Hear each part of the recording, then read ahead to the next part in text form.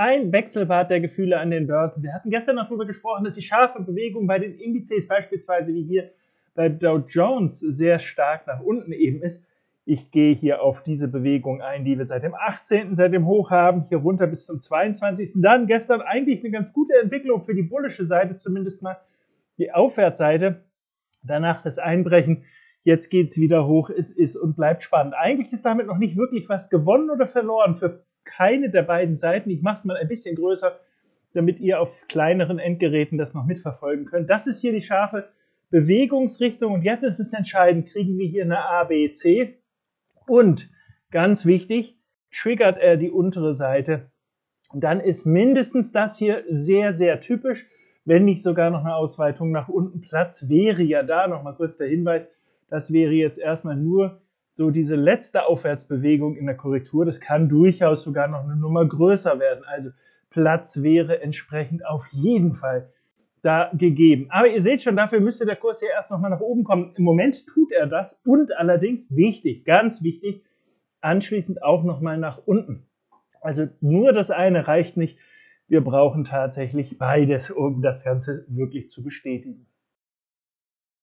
So, ist damit das bärische Bild besiegelt? Naja, ich habe es ja gerade gesagt. Nein, natürlich nicht. Dafür müsste er erstmal da noch ein bisschen höher gehen, anschließend hier unten durchgehen.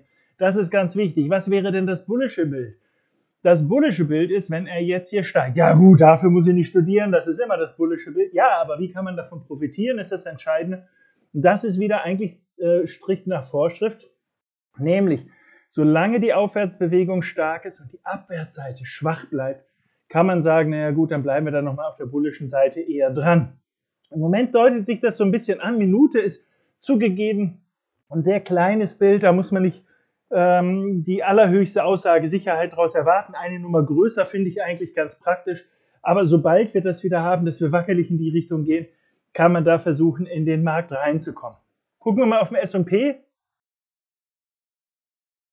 Denn den hatten wir ja gestern auch in, der, in diesem Bezug äh, hier auf dem Plan. Scharfe Abwärtsseite, jawohl. ABC wäre klasse gewesen. Ihr seht, hier hatte ich noch meinen Trigger von gestern. Ich habe ihn extra noch mal drin gelassen. Und der ist bis jetzt nicht getriggert worden. Also noch überhaupt gar keine Chance hier für die Short-Seite. Der Kurs inzwischen wieder runter und ich male das mal ein bisschen nach und dann sieht man zumindest mal etwas, was ein bisschen auffällig ist. Dieser Rücksetzer hier und dieser Rücksetzer hier sind überschneidend.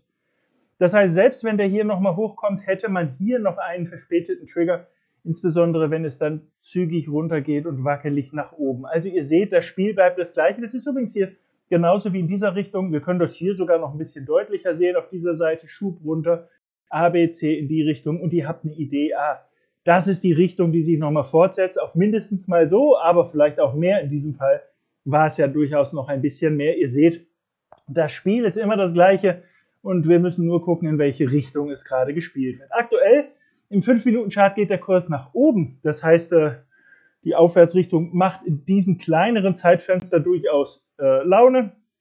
Bekommen wir jetzt das Wackelige auf der Abwärtsseite, dann wäre das das Indiz hier gegebenenfalls vorläufig nochmal long zu gehen. Also für alle die Intraday-Händler, die sagen, ah, da will ich doch keine Bewegung verpassen, achtet auf sowas. Wenn ihr das bekommt, habt ihr eine ganz gute Chance. Es kann natürlich sein, dass sowas mal ausbleibt. Nochmal ein kurzes Beispiel. Hier hatten wir das relativ gut. Zack.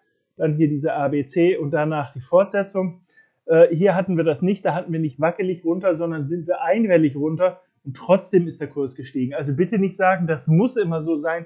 Umgekehrt, wenn es so ist, dann würde es passen. Also achtet vielleicht auf diese Zusammenhänge. Ich drücke euch dafür beide Daumen und sage alles Gute, liebe Grüße, bis dann. Ciao, ciao.